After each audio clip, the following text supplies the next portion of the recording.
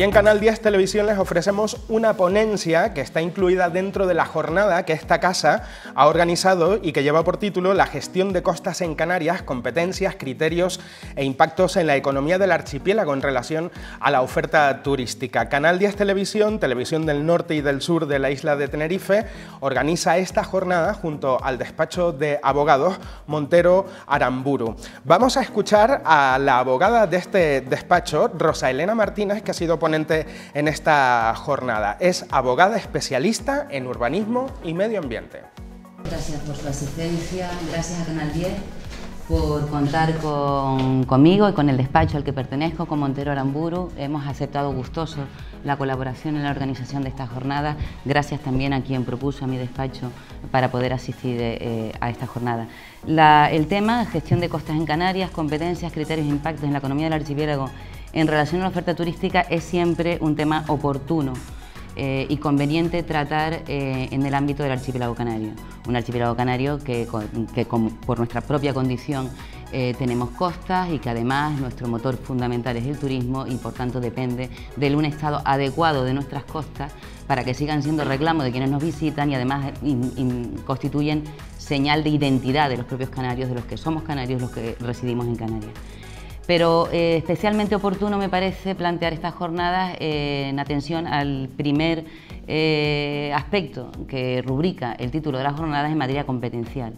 Porque yo sí quisiera destinar la primera parte de mi charla, y espero no demorarme en exceso, a el nuevo Estatuto de Autonomía que tenemos, aprobado por la Ley Orgánica 1-2018 de 5 de noviembre, que va a cumplir ya un año, y que parece que en esta materia ha pasado hasta la fecha eh, desapercibido.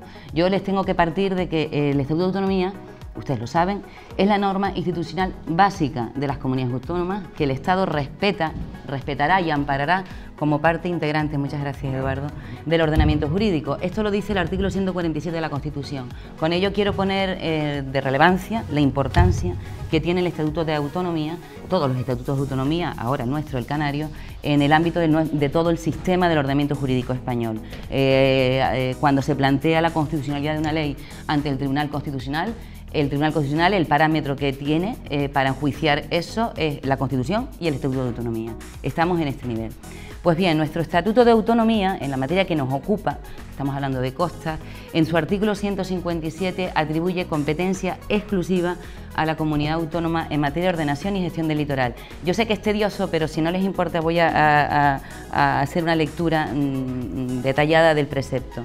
Dice el artículo que corresponde a la comunidad autónoma de Canarias en materia de ordenación del litoral habla de ordenación del litoral, en realidad es ordenación y gestión, lo veremos luego en los casos a continuación que se detalla, respetando el régimen general del dominio público, lo cual supone eh, que la atribución de la competencia de la comunidad autónoma debe respetar la ley de costas, la ley de costas y toda la normativa eh, dictada por el Estado en el ejercicio, a su vez, de la competencia exclusiva en razón con el dominio público marítimo terrestre, respetando el régimen general del dominio público, respetando la ley de costas. La Constitución eh, en el artículo 132 ya dice que son bienes dominio público estatal precisamente el mar territorial, la zona contigua y la plataforma continental. Es dominio público estatal y eso es indubitado. La comunidad autónoma ejercerá su competencia respetando el régimen del dominio público estatal y le atribuye la competencia exclusiva competencia, las competencias que pueden ostentar las comunidades autónomas son de tres tipos.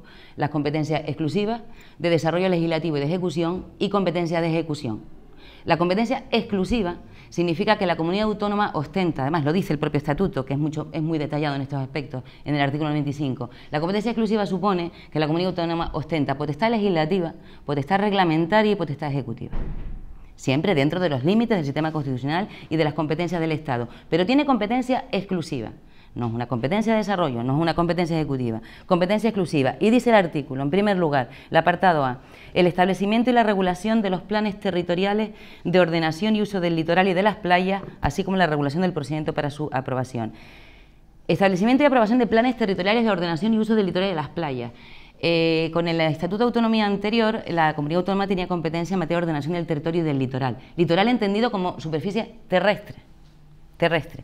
Pero es que este artículo ahora hay que interpretarlo y luego volveremos a él, que creo que es importante, el ámbito territorial de Canarias en el nuevo artículo 4 y la inclusión del mar y de las aguas canarias. Luego me gustaría hacer una pequeña reflexión a ello. Pero ya nos está diciendo que tenemos competencia, la comunidad autónoma, para ordenar el uso del litoral y de las playas y ya parece que si el ámbito territorial comporta las aguas canarias, ya existe una, novedad y es un, primer punto que yo quiero destacar en esta charla, una primera llamada de atención. Aquí el Estatuto de Autonomía nos está atribuyendo algo más, claramente, que no teníamos antes. En segundo lugar, la gestión de los títulos de ocupación y uso del dominio público marítimo terrestre, especialmente el otorgamiento de autorizaciones y concesiones, y en todo caso las concesiones de obras fijas en el mar, respetando las excepciones que pueden establecerse por motivos medioambientales. O sea, todas las autorizaciones y concesiones que impliquen utilización y ocupación del dominio público que hasta la fecha y a día de hoy las está dando la Dirección General de Sostenibilidad, de Protección de, la Costa y del Mar, eh, es decir, la Administración del Estado, a partir, ahora veremos de qué momento, ahora, ahora la comunidad autónoma tiene la competencia para gestionar y otorgar estas autorizaciones y concesiones. La regulación y la gestión del régimen económico financiero, el dominio público marítimo terrestre en los términos previstos por la legislación general, la gestión del régimen económico, no la recaudación. Los cánones habrá que ver quién es el titular del, dominio y el dominio es estatal. La ejecución de obras y actuaciones en el litoral canario cuando no sean de interés general. La atribución de los servicios que se presten en las playas y demás lugares del litoral, esto es importante, eh, en coordinación con las entidades locales, y el informe previo de la comunidad autónoma sobre la ejecución de obras de interés general en el litoral canario. Eh, decíamos, y quiero destacar, que se trata de una competencia exclusiva en todas estas eh, materias. Y eh, la pregunta, una vez que tenemos ya el marco competencial, tal y como nos da el Estatuto de Autonomía, la siguiente pregunta será ¿cómo y cuándo? ¿Cómo y cuándo pasa a asumir efectivamente la Comunidad Autónoma de Canarias estas competencias? Aquí tendríamos que ir a la disposición adicional cuarta del propio Estatuto de Autonomía, que habla de la Comisión Mixta de Transferencia y que parece, parece que da a entender que cuando las competencias que se atribuyen a este estatuto requieran la transferencia de funciones y servicios de medios personales, materiales o financieros a la comunidad autónoma receptora que los ha recibido, pues hay que convocar esta comisión mixta de transferencia. Es una comisión paritaria integrada por representantes de la Administración del Estado y representantes de la Administración Autonómica para acordar los términos en que eh, tiene lugar este traspaso en particular, incluso se habla de medios eh, personales, la posibilidad de que los funcionarios del Servicio de Costas puedan pasar al de la comunidad autónoma respetando sus derechos, incluso participar en los concursos que convoca la Administración del Estado. Y con, este, con estas miembros se plantean dos, o se plantearon, o al menos quienes nos gusta el derecho constitucional el derecho administrativo, nos planteamos dos opciones o dos interpretaciones jurídicas. Ambas, es cierto, con fundamento en la doctrina del Tribunal Constitucional anterior. El Estatuto de Autonomía atribuye a la comunidad autónoma sin reservas competencias en materia de ordenación y gestión del litoral. En la medida, eh, se trata de una atribución, y eso lo dice el Tribunal Constitucional, y lo ha dicho eh, desde el año 83, eso es una, una, atribución ipso iure, que da el Estatuto de Autonomía. No se necesita ningún decreto, real decreto de transferencia de competencia. No, no, no. La competencia la tiene el Estatuto de Autonomía. Vuelvo a recordarles que es la norma institucional básica de las comunidades autónomas. Y, que, y vuelvo a recordarles un dato importante, que es aprobado en el Parlamento de Canarias y ratificado por ley orgánica en las Cortes Generales. O sea, que requiere una mayoría cualificada. La competencia ya se tiene por la atribución y por la previsión del Estatuto, pero dice el Tribunal Constitucional, salvo que el ejercicio inmediato de la competencia requiera que nos transfieran funciones y servicios, en cuyo caso entra en juego la Comisión Mixta de Transferencias, en cuyo caso entra en juego el Real Decreto de Transferencia. En mi despacho con algún cliente eh, propusimos, eh, era un tema muy sencillo, eran unas obras en una edificación que invadían parte, mm, recuerde la unidad de predio de la que hablabas ahora, invadían parte, muy, muy pequeña parte, el dominio público marítimo terrestre, el resto en servidumbre de protección. Evidentemente lo tramitamos ante la, ante, ante la Administración de Costa, pero con este con esta previsión estatutaria intentamos. Intentamos y le dijimos a la Administración Autonómica, oiga, usted ya es competente, esto está en servidumbre de protección, usted ya es competente para gestionar todas las autorizaciones y ocupaciones en el dominio público marítimo terrestre, en principio, eh, en fin, le presento usted el proyecto, resuelve usted. Resolvió, eh, nos contestó la Comunidad Autónoma de Canarias en un escrito de 26 de febrero de este año, era el anterior gobierno de Canarias, pero es la administración autonómica y nos dijo literalmente y se los leo que de acuerdo con la doctrina del Tribunal Constitucional, con cita tal, se concluye por esta Administración que asumidas las nuevas competencias en materia de ordenación y gestión del litoral por la reforma del Estatuto de Autonomía de Canarias, le corresponde al Estado seguir ejerciendo las competencias hasta que se cumplimenten los trámites previstos en la disposición adicional cuarta del Estatuto de Autonomía relativo a la transferencia de funciones y servicios en los que se deberá prever los medios personales, financieros y materiales al resultar los mismos necesarios e imprescindibles para su normal funcionamiento. No sabemos, entendemos que tiene que haber habido un trabajo previo de la comunidad autónoma, no lo sabemos, gestionando y, valorando si efectivamente necesito medios personales y materiales y financieros para el desarrollo de esta competencia. No es la competencia en materia de justicia, ¿no? que, requiere tener disposición de edificios y de tener medios personales. Nosotros consideramos que en principio la gestión del otorgamiento de autorizaciones, aprobar instrumentos de ordenación, planes territoriales, lo puedes hacer, comunidad autónoma, lo llevas haciendo, y gestionar autorizaciones y concesiones, pues que no requería especiales medios personales y materiales. Sin embargo, esta es la, eh, eh, digamos, la contestación que nos ha dado el Gobierno de Canarias. Entiendo que ir por ahí cualquier es una lucha, contravenir esto es estéril, es un desgaste, yo creo que este es el pronunciamiento, entiendo que el nuevo Gobierno de Canarias lo mantendrá, lo mantendrá y considerará que no voy a actuar el, eh, el ejercicio de mis competencias hasta que no tenga lugar esta comisión mixta de transferencia. Y claro, eh, también es verdad, y les tengo que decir, que los antecedentes en Cataluña y Andalucía han pasado por reales decretos de traspaso de funciones y servicios. Eso es verdad. Les digo, en Cataluña la atribución de la competencia en materia litoral fue por el Estatuto de Autonomía del 2006 y en el 2007 ya tenían su decreto de transferencia. En el 2007. Se aprobó en julio y en el, el septiembre del 2007 ya lo tenían y fueron ampliados en 2008. Por contra, en Andalucía la previsión de la competencia fue en el 2007 y tuvieron que esperar hasta el 2011. Y tuvieron que esperar hasta el 2011 para eh, que se aprobara el traspaso. Esperemos que en Canarias no sea así. ¿Por qué? ¿Qué es lo que entendemos ahora eh, que debe de tener lugar? Convocar la Comisión Mixta de Transferencia. Convocar la Comisión Mixta de Transferencia. ¿Qué ocurre? Que por el lado de aquí, por el lado de la comunidad autónoma, tenemos un Ejecutivo estable y conformado. Por el lado del Estado tenemos un gobierno en funciones, tenemos unas elecciones para el día 10 de noviembre, no sabemos qué previsiones, va a estar bastante difícil, ¿no? Eh, o por lo menos es lo, que estamos viendo en los últimos años, nos parece tan fácil conformar un gobierno estable, pero yo sí entiendo, yo sí entiendo, yo como eh, jurista, que esta materia, esta materia de la transferencia eh, de funciones y servicios, que no de competencia, no de competencia, que ya la tenemos, sí requiere un gobierno estable y no un gobierno interino. Es verdad que en los últimos años eh, la, teoría que teníamos los juristas de lo que podía llegar a ser un gobierno en funciones, que era muy poco, eh, se, ha ido, se ha ido modulando porque los últimos años eh, han dado gobiernos de interinidad de mucho tiempo y la abogacía del Estado ha tenido que volver a reinventar su criterio para permitir que el gobierno en funciones pueda ir aprobando algunas que otras cosas que son absolutamente imprescindibles para la vida de toda la sociedad y para la vida, desde luego, de las comunidades autónomas. Pero yo sí entiendo que que hasta que no tenga lugar este, este, un gobierno estable en el otro lado, en la administración del Estado, pues no, no, va a tener lugar la comisión mixta de transferencia. Ahora, lo que me parece que es eh, indeclinable, indeclinable eh, es que el gobierno de Canarias, que tiene la administración de la comunidad autónoma, que ya tiene la competencia, que ya la tiene, debe hacer todo lo posible para procurar el ejercicio efectivo e inmediato de esas competencias. Ahora me, me planteo yo otra pregunta. ¿Va a mejorar la gestión del litoral? ¿Va a mejorar la gestión del litoral porque la competencia la tenga asumida la comunidad autónoma?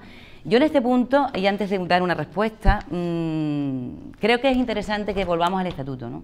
El estatuto en su preámbulo habla de que, bueno, de que la sociedad canaria ha avanzado, una sociedad del siglo XXI, que hemos ido superando, que el, Estado de las Autonomías nos ha ayudado a ir superando nuestro eh, secular desfase con el resto del territorio eh, peninsular, que nos hemos modernizado y tal, pero destaca un principio clave, un principio clave que debe de presidir o debemos interpretar que preside que debe mm, presidir la interpretación del resto del articulado, porque dice el estatuto, el estatuto de autonomía que el objetivo, que, mm, destacando un principio para la comunidad autónoma, que su objetivo debe ser modular en relación a las islas determinadas políticas públicas para su adaptación a las especiales condiciones del archipiélago. Es decir, el Estatuto de Autonomía considera que la Administración Autonómica puede ser la administración más apta, más apta en relación a, las islas para modular determinadas políticas públicas que afecten, porque es la mejor, la, que mejor aptitud tiene para valorar las condiciones especiales del archipiélago. A mí este, este principio creo que no, no, puede tampoco pasar desapercibido. El propio Estatuto de Autonomía, insisto, ley orgánica aprobada en las Cortes Generales, aprobada en las Cortes Generales, considera que quien mejor puede modular la aplicación de las políticas públicas en el territorio eh, insular, en el territorio eh, es eh, la comunidad autónoma de Canarias, porque es la que mejor conoce las condiciones del archipiélago. Esto yo creo que es un dato importante, es un dato importante. Luego tenemos otros principios rectores que se enumeran en el Estatuto eh, de Autonomía como, y que tenemos que tener en cuenta, como es el fomento de la actividad turística, que debe de inspirar la actuación de los poderes públicos. Y lo digo y voy a destacar lo que nos interesa a nosotros. El fomento de la actividad turística y su ordenación se llevarán a cabo con el objetivo de lograr un modelo de desarrollo sostenible, especialmente respetuoso con el medio ambiente, el patrimonio cultural canario y el territorio. ¿Correcto? Correcto. Yo creo que aquí eh, somos eh, una sociedad madura, un sector empresarial turístico muy maduro, muy responsable, muy profesional, que sabe que el desarrollo de Canarias, eh, que, Canarias y los valores naturales de los que disponemos hay que cuidarlos, porque de eso depende también eh, nuestra actividad económica. Pero es un principio, un principio que debe de, inspirar la actuación de los poderes públicos, fomentar la actividad turística. Es verdad que luego hay otros principios, como el de mm, preservar y mejorar la calidad ambiental, pero no son incompatibles, no son incompatibles. Con lo cual, eh, mejorará la gestión del litoral. Yo considero que la Comunidad Autónoma de Canarias tiene casi ya 40 años de andadura. Creo que es una administración madura, formada, preparada, ha asumido competencias eh, mm, delicadas en, la, justicia, sanidad. No digo que lo haga mejor o peor, pero vamos, que tiene ya una trayectoria y una experiencia en la asunción de competencias eh, rigurosa, solvente es una competencia que le ha sido atribuida por el Estatuto de Autonomía, la ordenación y gestión del litoral, y es una administración más cercana, más próxima. Eh, ¿Con mayor sensibilidad? Es posible, es posible. Con un límite, sí, no nos llevemos a engaño. La actuación, el otorgamiento de las gestiones, de las autorizaciones, de las concesiones, deben de hacerse con respeto a la legislación estatal. No nos llevemos a engaño. O sea, el régimen jurídico eh, del dominio público marítimo terrestre está regulado en, la legislación estatal. Pero esta legislación de costa, esta legislación de costa abre en, determinados momentos, y se les voy a citar algunos a título de ejemplo, eh, habla del interés público. Por ejemplo, hay decisiones administrativas que se fundamentan en la valoración del interés público. Ahí es donde entra, en cierto modo, la discrecionalidad de la administración que va a aplicarlo. Les pongo un ejemplo. Cuando en el artículo 33 se habla de la utilización de las playas, se habla del interés público a efectos de decidir las modalidades de utilización de las playas. Hay razones se habla de las razones de interés público para denegar los títulos de utilización o ocupación de las playas. Hay un interés público también que, debe de justificarse y motivarse en la revocación de las autorizaciones o en la retirada de instalaciones. También se habla de la mayor utilidad pública al tiempo de otorgar las concesiones. Quiero decir que hay conceptos, como es el interés público, que siempre eh, que es el, margen de la potestad discrecionalidad discrecional de la Administración y que en este caso ahora van a tener que ser o van a pasar a ser valorados por los responsables y las autoridades de la Comunidad Autónoma de Canarias. También hay otros conceptos jurídicos indeterminados que requerirán precisión y que siempre están en manos de las autoridades, como eh, cuando habla de la ocupación de dominio público y permitir en las playas aquellas actividades e instalaciones que por su naturaleza no puedan tener otra ubicación. El por su naturaleza es un concepto jurídico indeterminado habrá que aplicarlo. Preferentemente para ubicar edificaciones mm, de servicio de playa fuera de ella. Las ocupaciones indispensables en tramos naturales de la playa, el concepto indispensable también es un concepto jurídico indeterminado. La excepcionalidad en la publicidad, de la publicidad es excepcional, pero siempre se podrá autorizar. Otro concepto jurídico indeterminado. La declaración de utilidad pública, efectos de ocupación temporal o expropiación forzosa. La utilidad pública la valora la responsabilidad y la autoridad. Los criterios de los pliegos en los concursos a convocar esos criterios los fijará la Comunidad Autónoma de Canarias. La facultad de paralizar o suspender el uso o no en los expedientes de caducidad. Si se tramita un expediente de caducidad, puedo mantener o continuar el mantenimiento hasta tanto se resuelva o no. La fijación del plazo de, prórroga de las concesiones.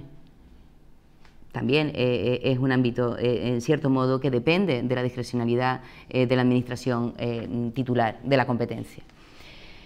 El régimen jurídico eh, aplicable, ya le digo, que es el de la comunidad autónoma, es el de, perdón, el de la legislación de costas, es el de la legislación de costas, no obstante, no olvidemos que tenemos potestad legislativa, de desarrollo legislativo de ejecución y de ejecución, pero siempre respetando el título competencial, que es el dominio público marítimo terrestre, que ese es el del Estado. Y, insisto, y, en, esta primera parte quiero cerrar con que efectivamente lo procedente es que tan pronto tengamos un gobierno eh, estable en, el, Estado, la Comunidad Autónoma de Canarias tiene que convocar la Comisión Mixta de Transferencia. Eh, creo que es importante que haya una corriente eh, donde los sectores implicados y los sectores que, en nuestro día a día Necesitamos tener certidumbre eh, y, seguridad jurídica sobre quién va a ser la administración, o ya sabemos quién tiene que ser, cuándo van a asumir las competencias, también debemos de empujar y de remar en ese sentido. Yo decía que también quería hacer alusión a otros aspectos, otras referencias eh, del estatuto que me parecen significativas en la materia que nos ocupa, en materia de costas y en materia del sector turístico. Y es el ámbito espacial del artículo 4, cuando dice que comprende el archipiélago canario integrado por el mar, integrado por el mar, y las siete islas con administración propia del Hierro, la isla de la Graciosa, los islotes de Alegranza, Lobos, Montaña Clara y los roques del este y del oeste. Es la primera comunidad autónoma que tiene eh, que, que el mar forma parte de su territorio y reconocido por un Estatuto de Autonomía. Es la primera vez. Ahora bien, ¿es un bluff? hasta dónde llega este reconocimiento, este guiño que nos hace el Instituto de Autonomía Canarias. Yo les recuerdo que una ley, la ley del 2010, la ley 44 del 2010, que, que, promocionó e impulsó don Victoriano Díaz, eh, Ríos, perdón, eh, que fue la ley de aguas canarias y que viene a decir lo que dice, lo que dice ahora el Estatuto de Autonomía.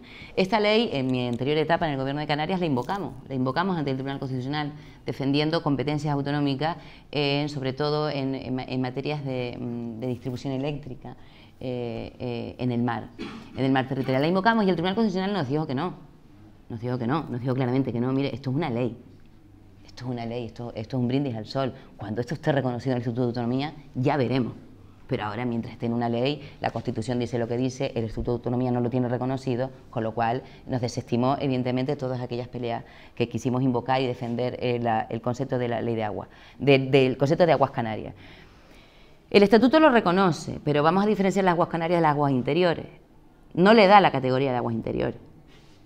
Porque ya entrada dice, sin perjuicio de la limitación de las líneas de base existentes, eh, eh, indagado un poco más, desde luego no es el objeto de esta charla, pero para tener un poco una idea, eh, las aguas interiores vienen dadas por una línea que circunda toda la isla, de punta a punta y, lo que queda hacia adentro, estas son las aguas interiores, donde bueno, la comunidad autónoma ha podido tradicionalmente ejercer sus competencias. Eh, la línea, el contorno perimetral que nos marca el Estatuto de Autonomía y que comprende así todas eh, las siete islas, las denomina aguas canarias. No son aguas interiores no son aguas interiores. Es más, dice el propio Estatuto de Autonomía que, este trazado del contorno perimetral no alterará la delimitación de los espacios marítimos de las Islas eh, Canarias, tal y como están establecidas en la norma estatal y en el derecho internacional. El mar territorial empezará a contarse las 12 millas desde donde siempre se ha contado, la zona contigua desde donde siempre se ha contado y la plataforma desde donde siempre se, eh, eh, se ha contado. O sea, pero bueno, ¿qué nos quiere decir lo del concepto de aguas canarias? Al menos nos está diciendo que el territorio de Canarias comprende ya las aguas.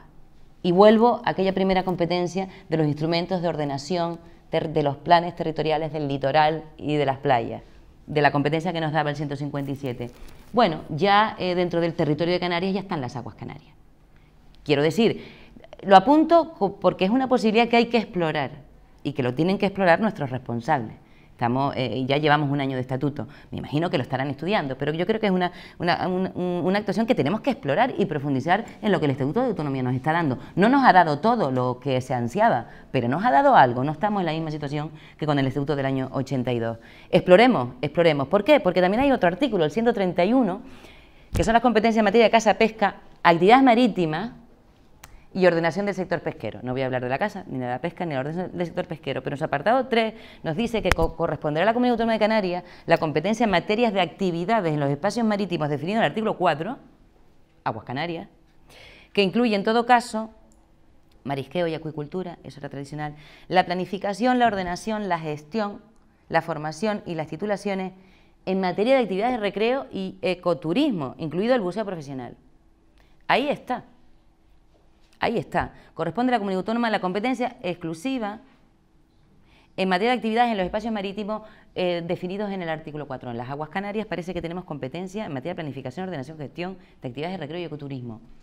Eso es un título competencial que ahí está, que habrá que desarrollar, que, habrá que estudiar, que habrá que profundizar y que no, y que no, habrá que, y que no debemos de tener miedo. Bueno, yo aquí no hay ningún representante de la Administración Autonómica ahora, pero mm, debe ser así. No debemos de tener miedo las Administraciones Autonómicas en desarrollar, indagar, en profundizar en lo que el Estatuto de Autonomía nos está dando. ¿no?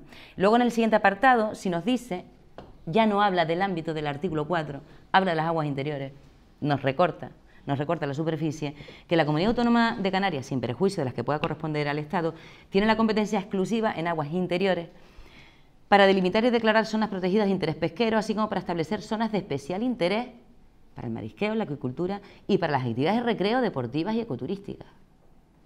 La comunidad autónoma tiene competencia exclusiva para establecer zonas de especial interés en las actividades de recreo, deportivas y ecoturísticas. Cierto que en las aguas interiores, cierto, pero eso está ahí. No son las aguas canarias, no es todo, digamos, ese, eh, eh, lo que entra dentro del contorno perimetral, pero esa competencia está ahí. Esa competencia está ahí, es novedosa y hay que profundizar en ella. Sobre todo porque sabemos que en el espacio marítimo concurren, como en todo, como en todo espacio, también en el terrestre, concurren competencias de diferentes administraciones públicas. Tenemos, evidentemente, la del Estado, es incuestionable, pero ahora la comunidad autónoma en el estatuto le están dando un, hay un reconocimiento, hay un reconocimiento que creo que como comunidad autónoma, que como toda comunidad autónoma ansía ampliar siempre su techo competencial en materia del litoral hacia una reivindicación histórica, no podemos ahora mirar hacia otro lado o hacer como que no existe. Yo creo que en este punto debemos de indagar porque las actividades de recreo deportivas y ecoturísticas son clave en la, economía de Canarias. No solamente para el empresario que directamente se refiere a este tipo de actividades de recreo deportiva, todo el empresario turístico depende de estas actividades porque todos nos nutrimos de todo. Eso ustedes lo saben, desde luego, muchísimo mejor que yo. Em, por eso concluyo esta parte con que merece la pena que la, Comunidad Autónoma de Canarias profundice y desarrolle en estos nuevos títulos eh, competenciales que le brinda el Estatuto de Autonomía, que va a cumplir, como digo, su primer año de vida próximamente. Además de, de esta materia, tampoco hay que tenerle miedo al Tribunal Constitucional. Tampoco hay que tenerle miedo al Tribunal Constitucional ni hay que tener miedo a legislar, a reivindicar, a legislar reivindicando una competencia, no hay que tener miedo a que el Estado te la impugne y no hay que tener miedo a acudir al Tribunal Constitucional y que siente doctrina. No, no hay que temer eso, no hay que temer. Eh, al contrario, yo creo además que la doctrina del Tribunal Constitucional eh, tendrá que cambiar necesariamente porque esta atribución del territorio de Canarias, incluyendo el mar, lo tiene que trastocar absolutamente su doctrina tradicional hasta la fecha. Bueno, una vez hecho este primer repaso, que para mí consideraba importante destacar el aspecto de la comunidad autónoma, del nuevo Estatuto de Autonomía, voy a hacer referencia a otras actuaciones en curso mínimas que está haciendo actualmente la, Administración del Estado. La Administración del Estado es la que está ahora interinamente actuando las competencias. Las competencias las tiene la comunidad autónoma de gestión y ordenación del litoral. Interinamente, en la medida en que no hay un decreto de transferencia de funciones y servicios, sigue, estando, eh, sigue actuando la Administración del Estado y es legítimo su ejercicio pero la titular, la titular de la competencia es la Comunidad Autónoma de Canarias. El dueño del suelo y del dominio público es el Estado. Pues bien, eh, recientemente, pues, bueno, pues por cuestiones que, de las que he tenido conocimiento por, mi trabajo y en mi despacho, eh, los servicios de temporada. Eh, en julio la Administración Estatal ha convocado un concurso ya para atribuir los servicios de temporada en las playas de aquí de Tenerife, en Playa Santiago, en La NEA y en Rada Sur hay un pliego eh, y, eso está tramitando. Yo creo que, yo no recuerdo que si hubiera existido otro concurso, hablamos de los servicios de temporada fuera de los concesionarios de playas que lo tienen ya otorgado también por la ley de costa. Pero tenemos ese, ese, procedimiento en curso. Eh, una vez que se pudiera ejercitar inmediatamente la competencia, pues este concurso debería ser convocado por la Comunidad Autónoma de Canarias. En, materia de deslinde, creo que estamos en fase de información pública solamente de uno, uno que afecta al islote francés eh, en Arrecife. Eh, pero lo más relevante y lo que más nos interesa, y es lo que yo también quería destacar, es los proyectos eh, que se están tramitando en el Ministerio de Transición Ecológica, los proyectos de actualización de los planes de gestión de las 24 zonas de especial, eh, zonas especiales de conservación que tenemos en la demarcación marina de Canarias y que una, que es la franja marino Terno Rasca, es la que nos afecta en todo, en todo este litoral de aquí y afecta hasta el Médano, efectivamente. Luego tenemos los cebadales de Tenerife, luego, bueno, todo, todas las islas tienen su, zona especial de conservación, yo me centro lógicamente en, la que nos afecta, que es la, isla de Tenerife. La zona especial de conservación, estas 24 SEC fueron declaradas, primero fueron LIC, lugar de interés comunitario declarado por Europa y la normativa obliga que el Estado eh, o la comunidad autónoma, en este caso fue el Estado, las declare zonas especiales de conservación y eso tuvo lugar eh, por una orden del 2011. ¿Por qué se declara en concreto la franja marina? Además, eh, saqué exactamente los planos de, la orden, que está publicada lógicamente en el Boletín Oficial del Estado. los hábitats y especies indicados actualmente en la declaración de zona especial de conservación por la que eh, eh, fue objeto de declaración fueron tres en esta zona. Tres. Los bancos de arena, la careta careta o la tortuga marina y el Tursiops truncatus, que es el delfín. Esas tres especies. Esas tres especies son las que provocaron y justificaron, primero, que se fueran declarados lugar de interés comunitario y eh, zonas especiales de conservación. En esa orden del 2011 se aprobó un plan de gestión un plan de gestión de estas medidas. Yo destaco, en el 2011, no hace tampoco tanto, lo que dice, lo que decía ese plan de gestión, en principio respecto al estado de conservación de esa zona, decía que no se ha detectado ningún uso o práctica que se realice en esta zona que pueda ser considerada incompatible con el mantenimiento del estado de conservación. Eso decía en el 2011, porque veremos que el proyecto que está caminando ahora es totalmente contrario. Parece que en ocho años ha habido un desbordamiento extraordinario en la actividad que hacemos en esta franja marina, porque eh, lo que entonces, lo que en el 2011 se consideraba que las actividades eran ciertamente compatibles con un adecuado estado de conservación de este hábitat y de estas especies, pues ya hoy, como verán, no, no, lo es. Se establecían medidas, se, hablaba de, las presiones, evidentemente, de las presiones a las que estaba sometida eh, em, esta zona, y ahora, hoy, tenemos un proyecto un proyecto, un plan de gestión que ha tenido una larga tramitación de consulta pública, donde se han oído a los sectores. Yo no sé si todos los que están aquí hoy eh, han sido convocados expresamente. El Ministerio se jacta de que sí, de que ha tenido una consulta pública extrema. Nos ha llegado recientemente eh, un informe divulgativo. No se ha tramitado la tramitación reglamentaria en sentido estricto no, se ha iniciado. Estamos en una fase previa de participación ciudadana y donde nos han trasladado un informe divulgativo donde pretenden o donde eh, sostienen que recogen eh, todo el, resultado de la consulta pública y con unas medidas concretas. Y todavía han concedido un, nuevo trámite que vence el 15 de noviembre eh, para hacerle comentarios al Ministerio sobre lo que consideramos y que, bueno, que vamos a utilizar por lo que respecta a los, a los empresarios de playa ¿no? asociados. Las medidas destacadas. Mm, yo destaco que les decía que eran tres las especies declaradas por la Zona Especial de Canarias. Sin embargo, parece que eh, tienen en cuenta, y ojo, que hay que partir de un planteamiento previo. El desarrollo de la actividad económica en, nuestro mar no tiene que ser ni, tiene que eh, plantearse en términos incompatibles con la protección del medio marino, en absoluto. No tiene que ser un conflicto, no debe ser un conflicto no debe ser un conflicto. Yo considero que un ejercicio responsable, insisto, el empresario turístico es el que mayor interés tiene en conservar un medio marino en óptimas condiciones, en respetar perfectamente nuestras bellezas naturales, nuestros paisajes y, nuestros valores medioambientales, porque si no lo hacemos, perdemos lo que realmente mueve a esta economía y a este archipiélago canario que es el turismo. Con lo cual, quizás hay que prescindir de demagogias o de considerar que en los despachos, en los despachos los técnicos o los eh, biólogos protegen mejor los valores naturales de, la tierra canaria, eh, no es así, no es así porque quizás el que desarrolla la actividad, el que vive y el que además vive de esto y sabe lo que el turista quiere y además los canarios propios mm, tenemos también esa sensibilidad. Con lo cual hay que, hay, que dejar, eh, creo que eso hay que, hay que tenerlo claro. ¿no? Eh, bien, pues en este informe divulgativo les decía que además de las especies protegidas, especialmente declaradas, pues también se quiere hablar de otras especies sensibles. Otras especies sensibles en eh, eh, presentes en la SEC, que seguramente que, las, que, existe, que las conocemos y no las vamos a descuidar. Y entonces nos habla del angelote, nos habla del águila pescadora, nos habla del calderón tropical o de la langosta reña en el ámbito ¿no? Eh, que le corresponde. Perfecto, pero no perdemos el norte. Estamos ante un plan de gestión de las zonas especiales de conservación, en mi opinión, en mi opinión, que es una zona especial de conservación porque para proteger a una determinada especie. Existen otras sensibles, de acuerdo, pero no orientemos el plan como para ya aprovechar que estamos eh, en este momento ¿no? para, eh, para, adoptar medidas que no vayan directamente encaminadas a la protección de estas especies, que por supuesto hay que respetarlas y eh, mostrarnos favorables a todas aquellas medidas que contribuyan a mantener nuestro hábitat natural. Hay una zonificación, hay una zonificación de toda esta franja marina, Ah, se habla de zonas, en ese sentido, esta zonificación la heredan de nuestra ley del suelo, que nuestra ley del suelo es ley del suelo y de espacios naturales protegidos. Eh, zonas de uso general, zonas de uso tradicional, zonas de uso moderado y luego hay unas zonas de uso restringido y unas zonas de exclusión. La zonificación concreta no nos la han hecho llegar en el último documento, con lo cual mm, parece que nos falta una pata importante, ¿no? Para saber todas las limitaciones de las que me estás hablando, dónde, dónde concretamente las vamos a aplicar. Pero vamos, yo no les quiero cansar, yo mm, pero voy a destacar eh, algunas medidas que van incluidas en este plan de gestión.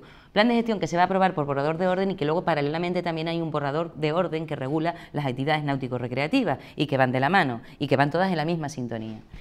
Eh, por ejemplo, en usos y actividades generales que quedan prohibidos en, las zonas especiales de conservación.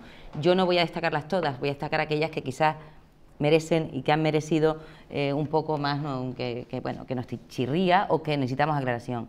La emisión de sonidos estridentes, incluyendo música y uso de bocinas que perturben la tranquilidad de los animales, salvo por motivos de seguridad o de emergencia, parece que requerimos un poco estridente, ¿qué es estridente? Estridente para el funcionario que ha elaborado el texto, la estridencia se mide con decibelios, en qué momento, cuando estamos navegando, cuando estamos fondeados, cuando estamos en tierra, eh, cuando estamos en el puerto, en qué momento, un poco, de, un precisión, ¿no? porque parece que se hacen ¿eh? un poco de, seguridad jurídica, la que hablaba del artículo 9.3 de la Constitución. Tenemos que saber a lo que nos atenemos. ¿no?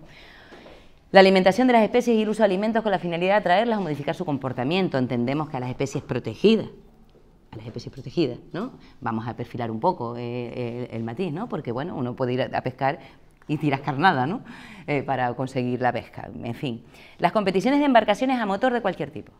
Las competiciones de embarcaciones a motor están prohibidas desde el médano hasta la punta de, Teno. Vamos a ver eh, las competiciones a motor. ¿Cuántas competiciones a motor?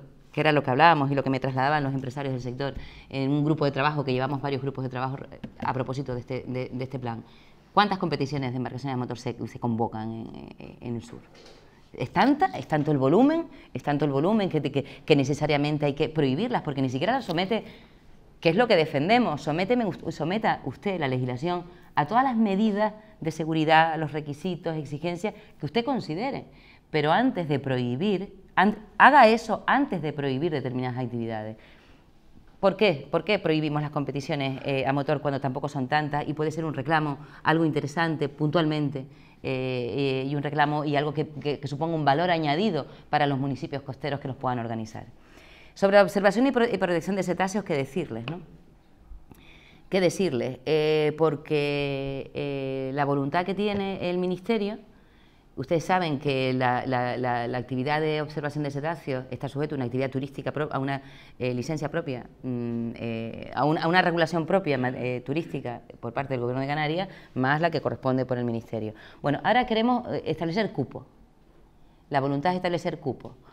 cupos y someterlos en todo caso a licencias. Claro, Cupos, eh, y volvemos a lo que, a lo que comentaba mi anterior ponente, es lo mismo, es la misma realidad, la realidad de Baleares que, como me comentaban eh, los empresarios del sector, pueden tener 22.000 atraques con 22.000 potenciales, que no lo son nunca, embarcaciones destinadas a la observación de cetáceos, que Tenerife que tiene 2.800 evidentemente, eh, eh, cojamos, eh, tengamos en cuenta datos objetivos. ¿Somos tantas las embarcaciones en Canarias? ¿Somos tantas? ¿Es tanta la presión turística que puede ocasionar la observación de cetáceos cuando es un reclamo interesante? Muchos turistas vienen a, los hoteles de muchos de ustedes y a los complejos turísticos porque, entre otras cosas, han, han, visitado, han pinchado Tenerife y han visto que les ofrece una excursión maravillosa para ver los cetáceos. Una excursión maravillosa donde el empresario turístico, dado de alta legal y que, cumple, y que cumple, y que declara y que paga impuestos, cumple con las normativas de protección y seguridad de los cetáceos. Quiero decir, ese empresario es el que mejor respeta o debe respetar y valorar eh, eh, la protección del cetáceo. ¿no? Pues bueno, eh, esa es una medida tremenda, tremenda. tremenda que aparece en este listado de medidas y que no, y que no nos sorprenda que puedan venir más porque esto es un informe divulgativo y cuando tengamos el borrador de orden no debemos de sorprendernos que puedan venir eh, mm, más medidas restrictivas. Se requiere una formación especial para estar en el... Se requiere una formación específica al personal que trabaja en actividades vinculadas a la actividad recreativa o observación de cetáceos. ¿Qué formación? Tenemos que ser titulados universitarios, biólogos. Hay una formación oficial, alguien la tendrá que impartir algún organismo, alguna entidad oficial. No estamos, yo creo que en, principio no deberíamos estar en contra de estar todos formados, eh, tal, pero bueno, vamos a ver hasta qué punto, ¿no? porque lo que no se puede es imponer medidas desproporcionadas y que, y que, y que luego no se van a poder cumplir. En materia de navegación, en materia de navegación se establecen limitaciones de, velocidad. Eh, de manera general, de manera general ¿eh? en el ámbito de navegación, mm, de la, velocidad de navegación está limitada a 10 nudos en una franja costera de 500 metros, salvo un caso expresamente autorizado. Yo no soy experta, yo no tengo barco, yo no sé las velocidades de los nudos, pero sí lo saben los expertos con los que hemos eh, eh, comentado este tema. 500 metros, 10 nudos, no parece que haya mm, demasiada justificación, eh, demasiada justificación para ello. Quizás nos falta una documentación científica, nos faltará una documentación científica. La encontrarán, la encontrarán, la buscarán y la tendrán elaborada, pero yo creo que también debemos hacer un esfuerzo eh, por parte del sector afectado, por parte de la propia eh, de los colectivos que estamos afectados y que estas normas nos pueden invadir tanto o limitar tanto, hacer un esfuerzo en dotarnos también de nuestra propia documentación científica, de nuestro propio informe, donde digan, vamos a ver, eh, mm, no, no, es tan agresiva la realidad, en, concreto hablo de Tenerife, cada, cada, isla tiene la suya propia, ¿no? pero la realidad no, no, no, no demanda, no demanda. La protección del, hábitat y de la especie protegida quizás no demanda unas medidas eh, tan restrictivas como estas, como el fondeo como el fondeo, se establecen límites eh, para el fondeo, para el fondeo libre. Claro, me decían también los empresarios que conocen de esto, Canarias, toda esta franja, no toda es susceptible de fondear. Si en toda esta franja tenemos estas especies eh, y este hábitat que hay que proteger, eh, sepamos que aquí me decían que hay como 10 puntos en toda esta franja donde es posible fondear, ya sea por la profundidad, por los bancos de arena, en por lo que fuera. Si, con lo cual ya de por sí tenemos limitado, nosotros nos autolimitamos el fondeo nos autolimitamos el fondeo. La gran parte de la zona protegida eh, sigue estando protegida porque es que no vamos a fondear ahí. No puede, mm, habrá que justificar por qué nos va a, limitar hasta ese punto el fondeo. Hay otra, hay otra cuestión, quiero también decir otra cosa que dice el informe divulgativo a propósito de las autorizaciones náutico-recreativas. Dice que propone que hay que cesar el otorgamiento de las autoridades mientras, mientras eh, elaboramos un informe sobre la capacidad de carga que tiene esta zona especial de conservación. Vamos a ver. Si la normativa y el ordenamiento jurídico, cinco minutos, ya estoy acabando. Si la normativa y el ordenamiento jurídico prevé, cumpliendo los requisitos establecidos, que se otorguen autorizaciones para el avistamiento de cetáceo, si usted quiere paralizar el otorgamiento, hacer una especie de moratoria, y esa norma está publicada en un boletín oficial, esa cesación o esa moratoria en el otorgamiento, publíquela usted en un boletín oficial seguridad jurídica, certidumbre, seguridad jurídica. Yo tengo que conocer que, mira, ahora no voy a pedir una, una nueva autorización de avistamiento de cetáceos porque está prohibido, porque está suspendido. Bueno, suspensión que ya cuestionaríamos, que podríamos cuestionar. No, no, no, no ha sido así. Y nos consta que eh, te contestan por correo electrónico o por llamada telefónica. Yo lo hice, yo llamé a un funcionario de la Dirección General de Sostenibilidad y le digo, mira, eh, pero ¿y dónde está publicado? No, no, es que ahora no se otorgan, en Canarias no se otorgan. No, digo, pero pues chico, yo es que lo busco y no lo encuentro. Dice, no, no, no está publicado. Hombre, seamos serios, ¿no? Seamos serios. Si el ordenamiento jurídico lo permite, tú desde luego lo que no me puedes denegar es una autorización. Evidentemente no te lo deniegan. No, no, te lo ponen por escrito, ¿no? No te lo ponen por escrito. No me puedes denegar porque estás haciendo un estudio de capacidad de carga. Si es así, si consideras que tiene que haber una moratoria, publica la norma, tramítala, somete la información pública, escúchame, a los colectivos y publicarán el boletín oficial para ellos saber a qué tenerme. Pero eso es así, eso está siendo así. Otra cosa, y acabo ya, pues como algo muy destacado, pero que me parece también importante, eh, se prohíbe la creación de nuevas playas. Se evitará la creación, se evitará la creación de nuevas playas artificiales, salvo por motivos de protección del dominio público marítimo terrestre. Como me decían empresarios del sector, eh, Tenerife precisamente no se caracteriza por tener playas naturales. No se Pero vamos, es que ni Tenerife ni cualquier otra isla. Fuerteventura las tiene y en Gran Tarajal se quiere hacer una playa.